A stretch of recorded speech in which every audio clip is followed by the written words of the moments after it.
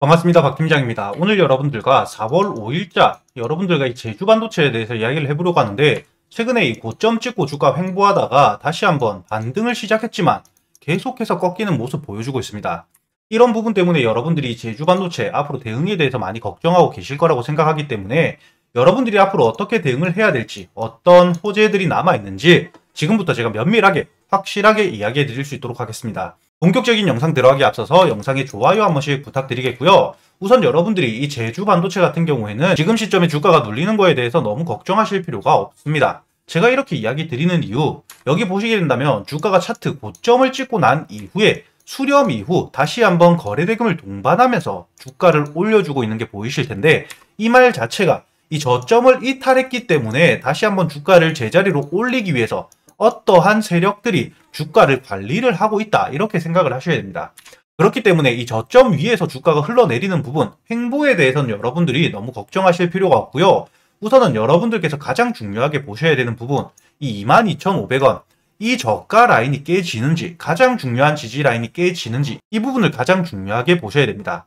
제가 여러분들에게 이렇게 확실하게 이야기해 드릴 수 있는 부분이 저희가 작년 12월 이 주가 눌리는 시점에 매수를 해서 목표가 3만원까지 여유있게 수익을 냈던 종목이기도 하고요. 주가 상승이 아직 끝나지 않은 시점이라고 생각을 하고 있기 때문에 계속해서 지켜보고 있는 종목입니다. 그뿐만 아니라 지금 제주 반도체 보유하고 계시는 분들도 지금 상당히 많으신데 제가 매일같이 여러분들과 유튜브 라이브 키고 이 제주 반도체에 대해서 여러분들과 이야기를 해드리고 있죠. 지금 제주 반도체 보유하고 계시는 주주님들이 상당히 많으시기 때문에 여러분들이 지금부터는 혼자 고민하실 필요 절대 없습니다.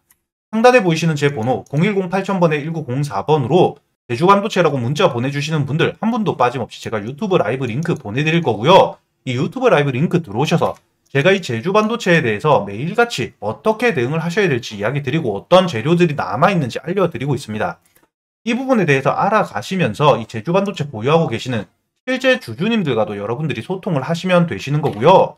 여기 보시게 된다면 이 제주반도체 이번 2분기까지 주요 매출뿐만 아니라 핵심 계약 일정들 모두 체크를 해두었습니다. 이뿐만 아니라 이번 4월달 말에 발표될 중요 공시 내용과 함께 연달아 터질 기사까지 관계자 통해서 체크를 하고 있을 뿐만 아니라 이 보고서 세 번째 보시면 각 증권사별로 세력들의 물량들 매집 추정하는 부분들이 있는데 최근에 이렇게 주가 눌리는 시점에도 거래대금 말라가면서 세력들에 대한 이탈이 없다는 거 여러분들이 차트에서도 확인하실 수 있겠지만 이렇게 추가적인 투입을 통해서 이 주가를 아직까지 관리하고 있다는 부분 제가 확실하게 확인을 하고 있기 때문에 이야기를 드릴 수가 있는 거죠. 이렇게 재료뿐만 아니라 수급에 대한 확인을 했기 때문에 여러분들이 이 제주 반도체 어떻게 대응을 하시면 되실지 대응 방법에 대해서도 제가 미리 정리를 해두었습니다. 이 보고서에 대해서도 제가 여러분들께 함께 보내드릴 테니까 상단에 보이시는 제 번호 이 제주 반도체라고 문자 한 통 보내주시고요. 유튜브 라이브 링크뿐만 아니라 이 보고서까지 미리 받아보시면서 여러분들이 어떻게 대응을 하셔야 될지 미리 알고 마음 편히 대응을 하시라는 거죠.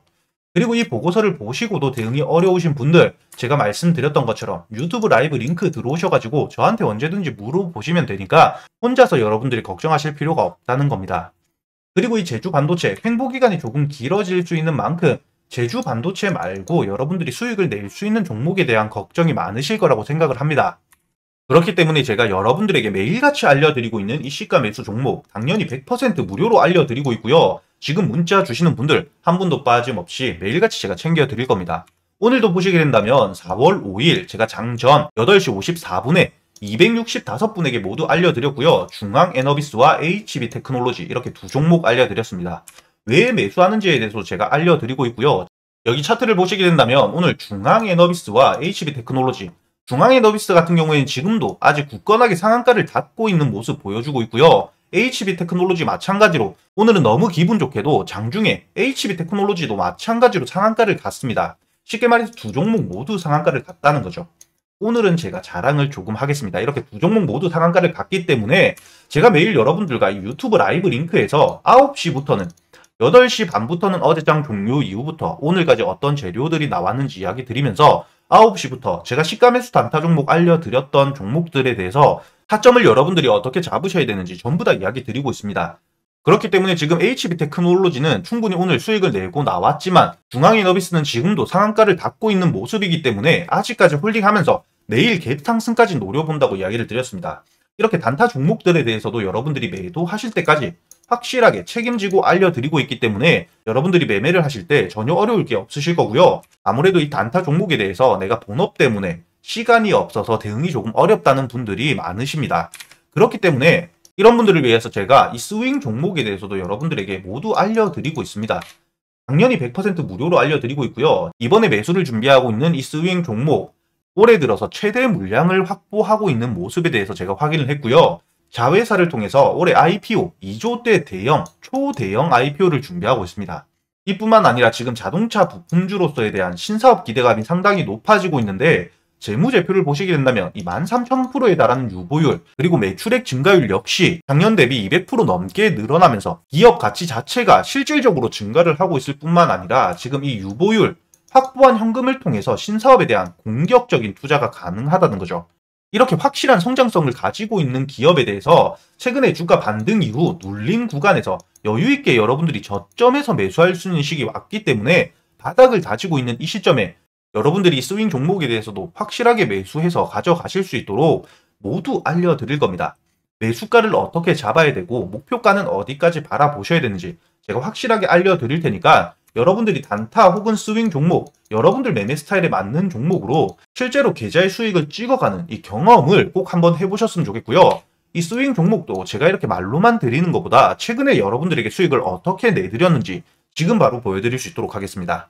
제가 여러분들에게 100% 무료로 보내드리고 있는 이 스윙 종목들 박영재 제 이름이 등록되어 있는 게 확인이 되실 겁니다. 지금 문자 발송 결과 들어와서 보여드리는 거기 때문에 제가 여러분들에게 언제 보내드렸는지도 3월 4일 가장 최근에 제가 알려드렸던 이 HLB 제약 매수가 2만원 이하의 매수를 해서 4만원까지 보고 갔던 종목이고요. 차트를 보시게 된다면 3월 4일 제가 문자를 보내드리고 난 이후에 보시게 된다면 이 3일 동안 충분히 2만원 이하에 매수할 수 있는 기간이 여유있게 있었다는 게 보이실 겁니다. 이렇게 매수한 이후 제가 알려드렸던 목표가인 4만원까지 도달했기 때문에 50% 물량 매도한 이후 나머지 물량은 아직까지 홀딩을 하고 있습니다. 32,500원 이 구간에서 주가 반등해 줄 가능성이 상당히 높고 아직까지 재료 소멸이 아닌 시점이기 때문에 나머지 물량은 아직까지 홀딩하면서 제가 끝까지 여러분들과 함께 이야기를 드리고 있습니다.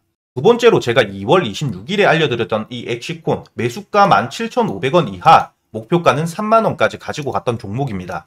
제가 언제 보내드렸는지 이 시간도 확인되실 거고요. 231분 한 분도 빠짐없이 제가 보내드렸죠.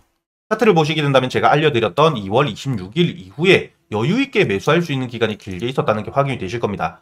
저희가 17,500원 이하의 매수를 했기 때문에 목표가 3만원까지 도달 이후 제가 처음에 말씀드렸던 것처럼 이 25,000원 위에서는 주가 반등해줄 가능성이 상당히 높다고 이야기 드렸고요. 만약에 깨지더라도 주가가 빠지더라도 이 22,500원 위에서는 반등해줄 거라고 제가 이야기를 드렸습니다. 목표가인 3만원에서 50% 물량을 매도하고 나머지 50% 물량에 대해서는 제가 말해드린 것처럼 이 지지를 받을 가능성이 가장 높은 구간이 깨어지지만 않는다면 나머지 물량에 대해서 홀딩하면서 추가적인 수익 노려본다고 이야기 드렸고요. 오늘 드디어 이렇게 신고가 갱신해주면서 주가 반등해주고 있는 모습 확인이 되실 겁니다. 마지막으로 제가 여러분들에게 알려드렸던 이 한국 BNC 2월 16일에 제가 장 전에 229분에게 모두 알려드렸습니다. 4천원 이하의 매수를 해서 8천원까지 목표가 보고 간다고 이야기를 드렸고요. 지금 차트를 보시게 되더라도 제가 알려드린 2월 16일 이후에 4천원 이하의 여유있게 매수가 가능했다는 게 확인이 되실 겁니다. 목표가이던 8천원까지 도달한 이후 50% 물량은 역시나 매도하고 나머지 물량에 대해서는 아직까지 이 제로 소멸되지 않은 시점이기 때문에 주가가 빠지더라도 거래 대금이 줄어들고 있는 시점인 만큼 이 6,500원 지지받을 가능성이 상당히 높은 이 6,500원까지는 기다려보면서 나머지 물량에 대해서 제가 대응해드린다고 이야기 드렸죠. 이렇게 제가 여러분들에게 100% 무료로 알려드리고 있지만 제가 여러분들에게 재료 분석 모두 끝내고 확실히 매도가 마무리될 때까지 알려드리고 있기 때문에 여러분들이 매매하심에 있어서 어려운 게 전혀 없으실 거고요. 최근에 매매하시면서 손실이 크셨다거나 내가 사기만 하면 떨어지고 내가 팔기만 하면 올라간다 느끼셨던 분들 지금부터 혼자 고민하실 필요 너무 없습니다. 지금 상단에 보이시는 제 번호 010-8000번에 1904번으로 박 팀장이라고 적어서 문자 보내주시는 분들 제가 한 분도 빠짐없이 제가 이렇게 다 챙겨드릴 거고요. 매일같이 유튜브 라이브 방송 통해서 여러분들과 8시 반부터 함께 소통하면서 이야기 드릴 겁니다. 제가 매매하면서 13년 동안 매매하면서 쌓여 있었던 노하우들, 기법에 대해서 모두 알려드릴 거기 때문에 이 부분에 대해서 하나도 빠짐없이 모두 배워가셨으면 좋겠고요. 제가 알려드리는 종목들과 기법들 통해서 여러분들 계좌에 실제로 수익을 찍어가는 이 경험 꼭 놓치지 않고 배워가시길 바라겠습니다.